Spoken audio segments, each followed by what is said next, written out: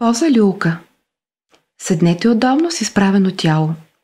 Повдигнете телцето на детето с помощта на възглавница, почти до нивото на гърдите ви.